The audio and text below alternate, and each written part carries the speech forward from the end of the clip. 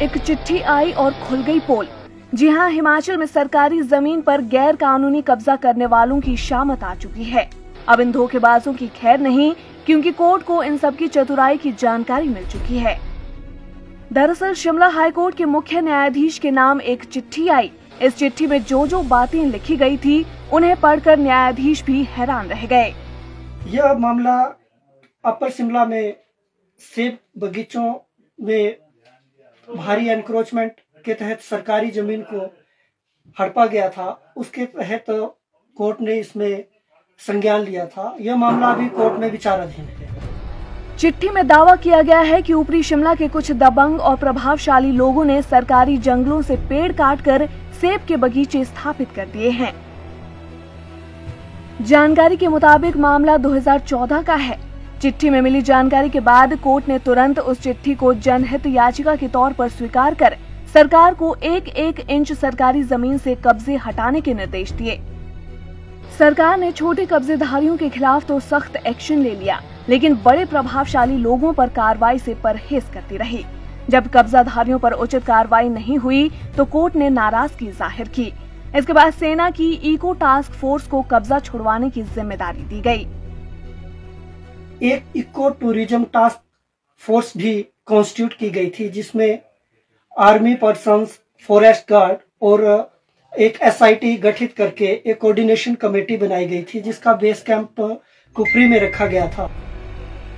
जानकारी के मुताबिक इन प्रभावशाली लोगों ने 2,800 बीघा ज़मीन पर कब्जा कर लिया है। यही नहीं इस ज़मीन पर पक्के निर्माण भी किए गए हैं और बिजली पानी के कनेक्शन भी लगवा लिए गए हैं।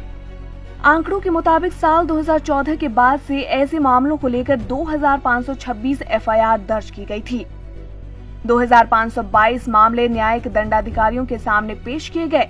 कुल मामलों में से 1,811 मामले विभिन्न वन मंडलाधिकारियों के सामने पेश हुए। इनमें से 1,416 मामलों में बेदखली आदेश पारित किए गए हैं।